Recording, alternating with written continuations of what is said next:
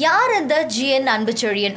திரைப்பட தயாரிப்பாளர் ஃபைனான்சியரான ஜிஎன் அன்புச்செழியனோட இல்ல திருமணத்துக்கு தமிழக முதலமைச்சர் மு க ஸ்டாலின் இருந்து திரை பிரபலங்கள்ல முக்கியமான பிரபலங்கள் முதற்கொண்டு பலர் கலந்துக்கிட்டாங்க அவ்வளோ பெரிய ஆளாக இந்த அன்பு செழியனுங்கிற மாதிரி ரீசெண்ட் டைமில் இவரை பற்றி தான் எங்கே பார்த்தாலும் பேச்சா இருக்கு. யார் அந்த அன்பு செழியன்னு பார்க்கலாம்.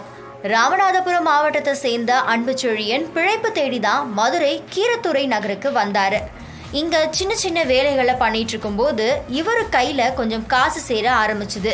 சரி இந்த காசை வச்சு ஏதாவது பண்ணணும் அப்படின்னு ஆயிரத்தி தொள்ளாயிரத்தி தொண்ணூற்றி ஏழில் ஒரு நாள் அவர் கையில் இருந்த ஐயாயிரம் ரூபாயை வட்டிக்கு விட ஆரம்பிச்சாரு.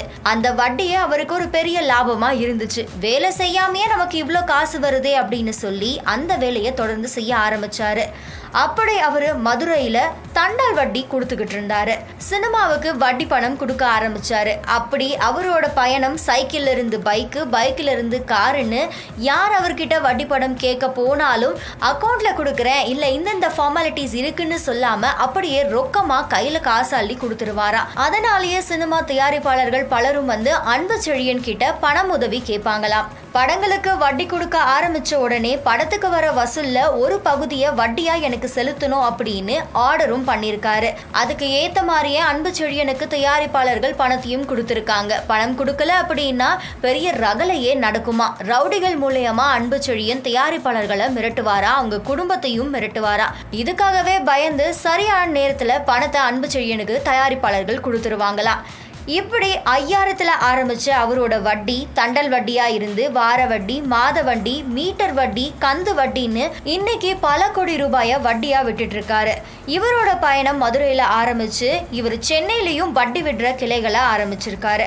அப்படி சினிமா கேரவேன் வட்டி தயாரிப்பாளர்கள் யார் யார் எந்தெந்த சமயத்தில் என்ன படம் ஆரம்பிக்கிறாங்க அப்படிங்கிறத முன்கூட்டியே தெரிஞ்சுக்கிட்டு அவங்களோட வீக்னஸ் என்ன அப்படிங்கிறத கண்டுபிடிச்சு சரியான இடத்துல அடித்து அவங்களுக்கு பண உதவி செய்யறது தான் இவரோட ஸ்டைலுன்னு சொல்றாங்க. சில பட தயாரிப்பாளர்கள் இவரோட மிரட்டலுக்கு பயந்து தற்கொலையும் செஞ்சிருக்காங்களா? அதுக்காக அன்பு செழியன் ஒரு வாட்டி கைதும் செய்யப்பட்டிருக்காரு. ஆனா கைதான சில நாட்கள்லயே அரசியல் பின்புலம் பயன்படுத்தி இவர் சீக்கிரமாவே ஜெயில இருந்து வெளியே வந்துட்டாரு.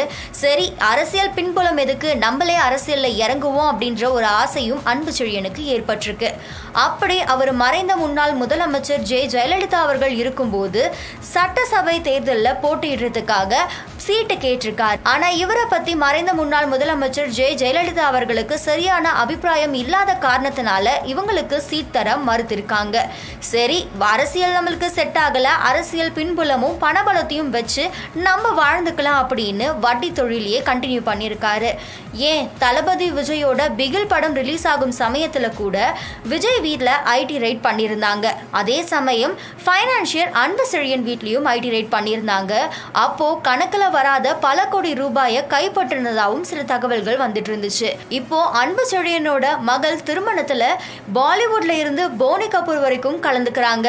ஏன் அப்படின்னா வலிமை படத்துக்கு அன்பு செழியன் தான் ஃபைனான்சியர் அப்படின்னு சொல்லப்படுது. அதனால தான் வலிமை படத்தோட தயாரிப்பாளரான பாலிவுட் தயாரிப்பாளர் போனி கபூரும் இவரோட இல்ல திருமணத்துல கலந்துகிட்டு இருக்காரு அன்பு செழியன் யார் அப்படிங்கிறத இந்த வீடியோ மூலயமா நீங்கள் எல்லாரும் தெரிஞ்சுக்கிட்டு இருப்பீங்கன்னு நினைக்கிறேன். இன்னும் இந்த மாதிரியான தகவல் தெரிஞ்சுக்க ஃபிலிம் தி தமிழை சப்ஸ்கிரைப் பண்ணுங்க. யாரை பற்றின அப்டேட்ஸ் வேணும் அப்படின்னு நினைக்கிறீங்களோ அதையும் கமெண்ட் செக்ஷனில் சொல்லுங்கள் மறக்காமல் அந்த அப்டேட்ஸோட உங்கள் எல்லாரையும் நான் அடுத்த வீடியோவில் சந்திக்கிறேன்.